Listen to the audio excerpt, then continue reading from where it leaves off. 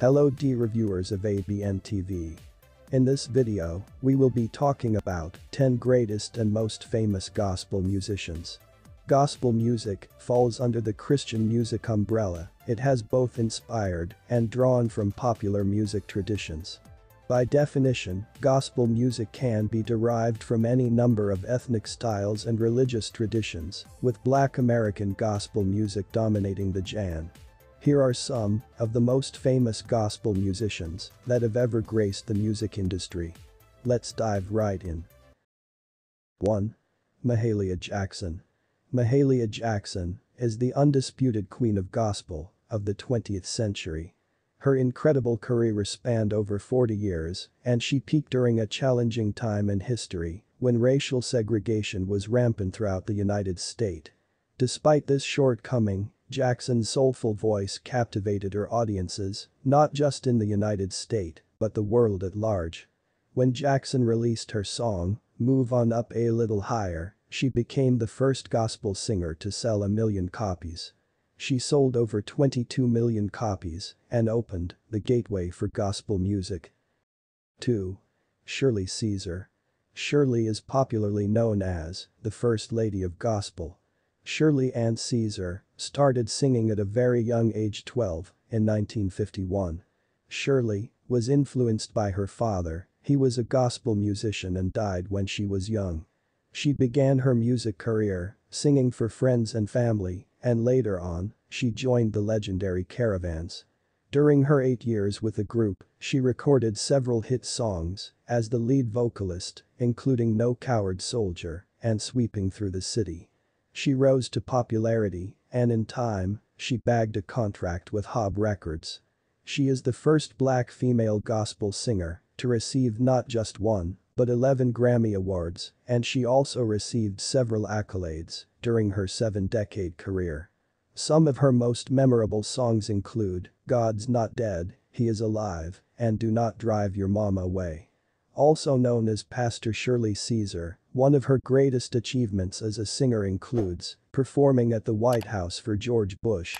She equally delivered a speech at the United States Treasury Department. 3. Elvis Presley. Elvis Presley is the king of rock and roll and a screen icon. His gospel album, He Touched Me, won him a second Grammy for Best Inspirational Performance. His 14-stop tour for that album started with an unprecedented four-night sellout at New York's Madison Square Garden. The live recording of the Madison concert became one of Elvis's biggest selling albums. Presley's recording of How Great Thou Art also won him his third and final Grammy Award Receiving 14 Grammy nominations, three were for his gospel records before his untimely death in 1977. 4. Kirk Franklin.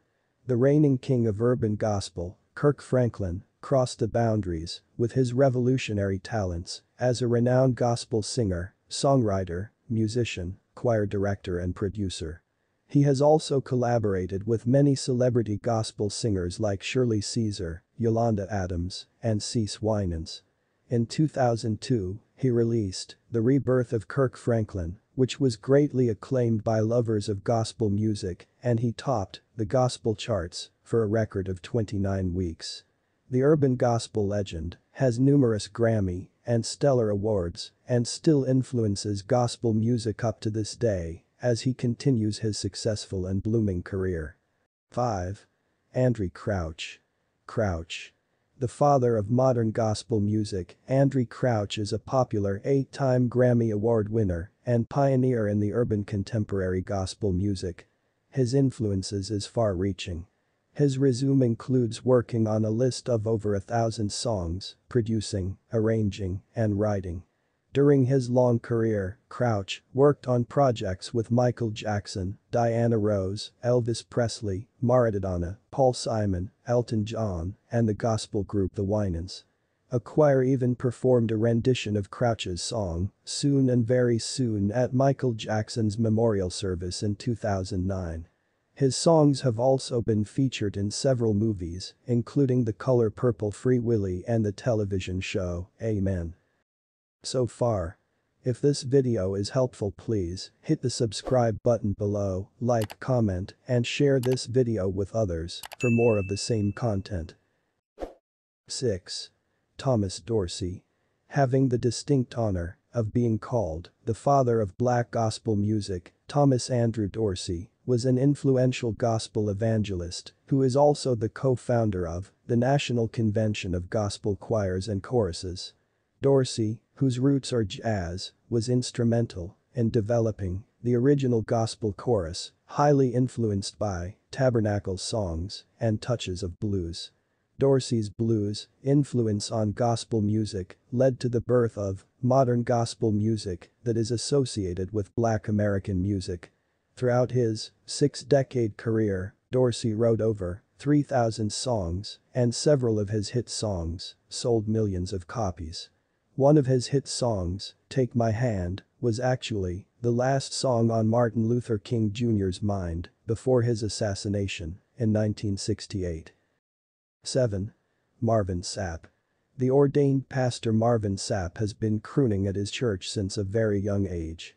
As a teenager, he sang and performed with several gospel groups, including the Urban Contemporary Gospel Ensemble commissioned his beautiful vocals, reminiscent of Luther Vandross and Billy Ocean, with trumpet overtures, have graced the gospel music charts since his debut album in 1996. Aside from his collaboration with Fred Hammond, he also worked with gospel singer-songwriter Israel Houghton. His song with Israel, The Best in Me, was a hit on both the Billboard, R&B, hip-hop and gospel songs charts. In 2010, Marvin Sapp ranked as the highest charting gospel artist in its 54-year tracking record. Pastor Marvin Sapp has also earned 13 Grammy nominations and is a prolific author of books on faith. 8. BeBe and CeCe Winans. This legendary gospel duo, Benjamin and his sister, Priscilla Marie Winans, are credited with pushing gospel music beyond mainstream barriers. BeBe and CeCe are also the younger siblings of the renowned Winans gospel singers. Televangelist Jim and Tammy Faye Bakker brought the duo siblings to the limelight and their contemporary sound to fame during the days of their Christian TV program in the 1980s. The siblings were able to record several hit songs, including I'll Take You There and Lost Without You. They also won three Grammy Awards among many other accolades they have received. While CeCe and BeBe performed mainly as a duo, they also enjoyed tremendous success as solo artists. CeCe performed with Whitney Houston on a song for the movie, Waiting to Exhale, and BeBe starred with the Hollywood celebrity, Denzel Washington. And BeBe also contributed his amazing production skills to Whitney's soundtrack for the film, The Bodyguard. 9. Donnie McClurkin. The reigning king of urban gospel, Pastor Donald McClurkin, had a turbulent and tragic childhood. However, he found solace in the church and God.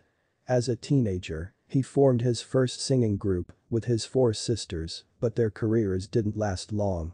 He went on to form another gospel group, which had only minimal success. Not too long, he launched his own debut, a self-titled album, in 1996, which became one of his most popular songs, Stand, the genesis of his fame. He has since become one of the best-selling gospel musician, selling more than 12 million albums and winning three Grammy Awards.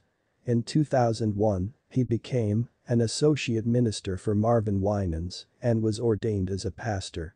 Currently, he draws more than 5 million listeners to his McClurkin radio program and continues to record more gospel songs. 10. Tasha Cobbs Leonard. A star among legends indeed. Tasha Cobbs Leonard made her first singing appearance in a church choir when she had to sing in the place of an absent member. Years later in 2010, she launched a self-released album, which debuted her solo career. Her performance earned the attention of EMI Records. Her first EP with EMI, Grace, was an instant success. Grace was amongst the top gospel albums of that year, and two of her singles in that album Break Every Chain and For Your Glory reached number one on the Hot Gospel Song charts. As of this video, she is currently a co-pastor of a congregation with her producer husband Kenneth Leonard.